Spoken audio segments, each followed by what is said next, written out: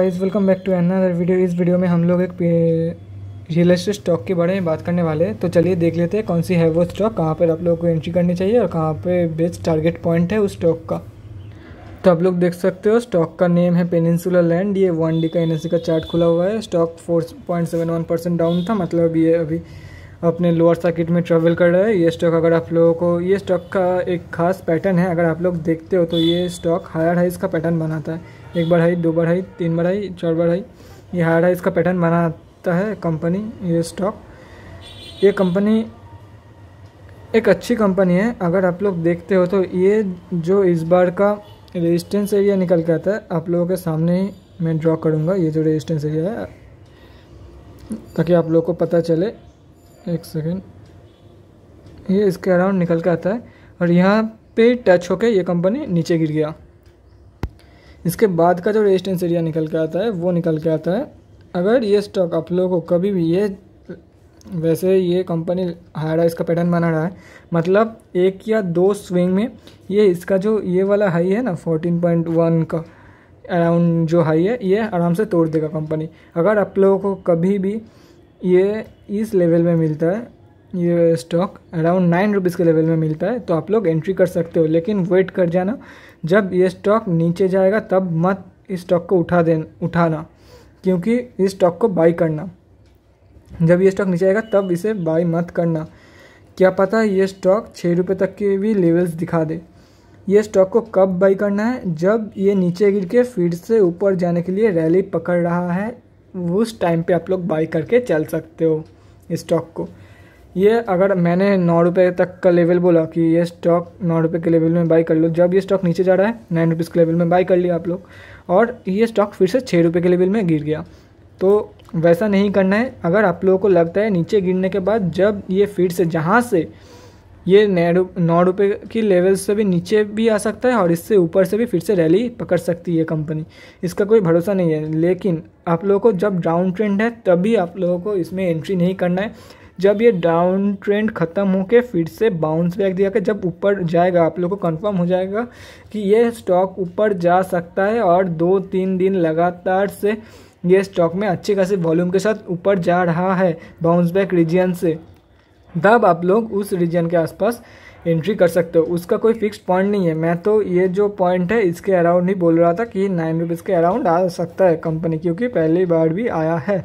जो पहला हाई है, उसके नीचे आया है, उसके ऊपर फिर ट्रेड करता था। इसीलिए मैं बोल रहा हूँ कि नाइन रुपीज़ के लेवल में नहीं, अगर शायद मान लो ये ग्यारह रुपये के लेवल्स में नीचे आया, उसके बाद फिर से ऊपर जाना चालू कर दिया तो आप लोग ग्रैप कर सकते हो, लेकिन इस पॉइंट पे ग्रैप करना, ना कि इस पॉइंट पे। आपको जितना नीचे मिले उतना नीचे ग्रैब करना। लेकिन जब नीचे जा रहा हो, तब ग्रैब मत करना। आप लोगों को लगा कि नौ रुपये के नीचे के लेवल्स में मुझे मिल गया तो मैं इसे ग्रैब कर लेता हूँ। लेकिन नहीं, ये नहीं करना क्या पता, वो स्टॉक तीन रुपये तक की भी लेवल दिखा दे, क्योंकि ये सब पेनी स्टॉक है। आप लोगों को पता नहीं है कि कहाँ पे जाके ये स्टॉक रुकेगा। क्या पता ये स्टॉक अभी नौ रुपये का तो ज़ीरो पॉइंट नाइन ज़ीरो मतलब नाइन्टी पैसे का भी लेवल दिखा दे। इसलिए मैं बोलता हूँ, जब ये स्टॉक बाउंस बैक करके ऊपर जा रहा होता, है हो सकता है आप लोगों को दस पैसे या बीस पैसे छोड़ दो दो रुपये महँगा मिला, लेकिन आप लोग लॉस नहीं करोगे। मैं बार बार बोलता हूँ अपने वीडियो में कि प्रॉफिट कम हुआ तो चलता है, लेकिन लॉस नहीं होना चाहिए, क्योंकि लॉस रिकवर करने में दो गुना ज़्यादा नुकसान होता है। लॉस तो एक बार हो गया, ठीक है। रिकवर करने का लिए जो टाइम लगता है, उसका प्रॉफिट और एक अगर आप लोग लास्ट स्टेज में एंटर करते और जब तक आप लोग लॉस रिकवर करते, उसका जो एक्स्ट्रा प्रॉफिट है, वो वाला प्रॉफिट मतलब रिकवरी का जो प्रॉफिट है, अगर आप लोग नीचे ही एंट्री करते तो रिकवरी करने के लिए कुछ नहीं रहता और आप लोगों को प्रॉफिट होता। वो वाला प्रॉफिट आप लोग दो प्रॉफिट मिस करते हो। अगर आप लोग लॉस रिकवरी के चक्कर में जाते हो तो एकदम कन्फर्म होने के बाद आप लोग ट्रेड लो। इसीलिए मैं बोलता हूँ, जब नीचे जा रहा होता है हाँ नीचे के लेवल में मिल गया। ये डिप्स बाई जो है, वो बड़े इन्वेस्टर लोगों के लिए ठीक है। वो सुनने के लिए अच्छा है, लेकिन अगर आप लोग वैसे करते हो ना तो स्विंग ट्रेडिंग में आप लोग पक्का लॉस में जाओगे। दस में से आठ ट्रेड आप लोग लॉस में करोगे। दो ट्रेड में आप लोग कर सकते हो। हाँ नौ रुपये के लेवल्स और ये एट फिफ्टी के लेवल्स दिखा के फिर से बाउंस बैक हो गया।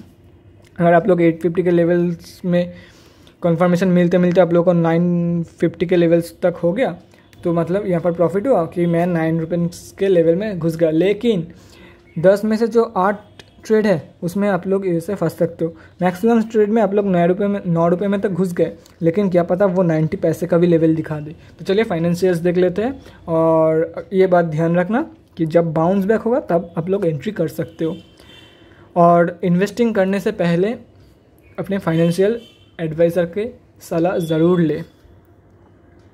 ये रहा एनएससी का chart Peninsula and Nifty realty के अंदर गिरता है ये stock thirteen point fifteen thirteen point one five rupees के लेवल में fifteen thousand five hundred and fifty quantity pending order है। हाई था थर्टीन पॉइंट ये तो लोअर सर्किट में आया है। हाई ट्रेड का उतना कुछ करना नहीं है। Traded value only nineteen lakhs का निकल गया था क्योंकि लोअर सर्किट था। बहुत लोगों ने सेल नहीं कर पाया। One lakh forty eight thousand one ninety one quantity only trade हुआ है। सिक्योरिटी वाइज डिलीवरी पोजीशन देख लेते हैं। वो निकल के मतलब हंड्रेड परसेंट ही होगा। क्योंकि नाइन्टी परसेंट लोगों ने तो नाइन्टी नाइन से भी प्लस परसेंट लोगों ने बेच दिया। ये क्यों नहीं है, ये मुझे नहीं पता, लेकिन शायद हो सकता है ये। तो चलिए क्वार्टरली रिज़ल्ट भी एक बार चेक कर लेते हैं बैलेंस शीट के साथ। तो यहाँ पे आप लोग देख सकते हो Peninsula is engage in the business of real estate development and incorporated domiciled domiciled in India तो मार्केट कैप भी देख लेते हैं कंपनी का। 367 करोड़ का मार्केट कैप है। बुक वैल्यू 0.97 बुक वैल्यू के हिसाब से बहुत ही ऊपर मिल रहा है ये company 0.26 minus zero point two six percent का आरओसी है। Sixty one sixty three percent का आर है। डिविडेंड डील एक रुपये का भी नहीं है। कॉन्स में तो सब कुछ मतलब कौन प्रॉफिट प्रोज में तो कुछ, ऐसा कुछ है नहीं मुझे लगता है। कॉन्स में अरे बाप रे, इतना सारा कौन सा? होना ही था। देख के पता चल गया। Company has reduce debt promoter holding ये सब मतलब ये ठीक है, लेकिन इससे ज़्यादा कुछ फ़र्क नहीं पड़ता कंपनी के बारे में। हम लोग कौन पढ़ सकते हो?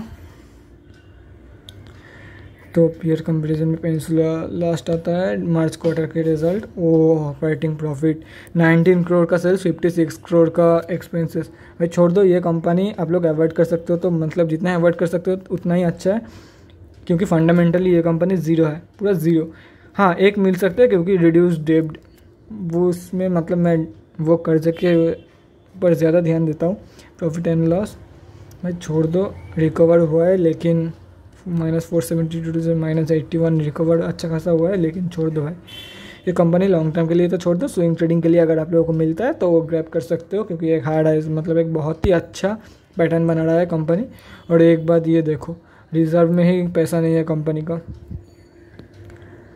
अगर आप लोग को ट्रेड लेना है तो ले सकते हो, लेकिन मैं कहूँगा अवॉइड करके चल सकते हो आप लोग कंपनी प्रोमोटर्स ने होल्डिंग बढ़ाई है, जैसे कि प्रोज में लिखा था। डीआईएस का भी होल्डिंग है इसमें, दो परसेंट का। तो पब्लिक में कौन कौन आता है? पब्लिक में ये सिर्फ़ सुनीता महेश गुप्ता, इसका ही होल्डिंग है पब्लिक में करंट हाँ देख लो, सब लोग अपने होल्डिंग बेच दिया है। अदर्स में कौन कौन आता है? अदर्स में तो कुछ होल्डिंग है भी नहीं। ये कौन है? महेश श्री कृष्ण गुप्ता, सुनीता महेश गुप्ता, कौन है पता नहीं। लेकिन ये कंपनी फाइनेंशियली ज़ीरो है। अगर आप लोग को स्विंग ट्रेड करना है तो स्विंग ट्रेड लेके स्ट्रिक्ट स्टॉप लॉस के साथ आप लोग निकल सकते हो। स्टॉप लॉस निकल के आएगा। वो निकल अराउंड मतलब जो, एक सेकंड आप लोग को दिखा देता हूँ। जो ये वाला लास्ट हाई था नाइन रुपीज़ के आसपास का, उसके बाद कंपनी रॉकेट हुआ। इसका जो लास्ट पॉइंट है वो स्टॉप लॉस आप लोग लगा के चल सकते हो, लेकिन स्ट्रिक्ट ट्रेडिंग करना है। अगर ये कंपनी कभी भी गिर सकता है, क्योंकि कुछ भी अच्छा न्यूज़ नहीं है कंपनी के बारे में, फिर भी ये कंपनी ऊपर जा रही है। मतलब ऑपरेटर का गेम या तो कुछ तो चल रहा है, जो हम लोग को पता नहीं है। तो इस वीडियो के लिए इतना ही। अगले वीडियो में मिलते हैं। अगर ये वीडियो अच्छी लगी तो लाइक ज़रूर करना। Thanks for watching keep supporting stay home stay safe till then bye guys अगर आप लोगों को कुछ भी स्टॉक के बारे में जानना है तो कमेंट सेक्शन में ज़रूर बताना। मैं वो स्टॉक को अपने वीडियो में ज़रूर कवर करूँगा। Bye guys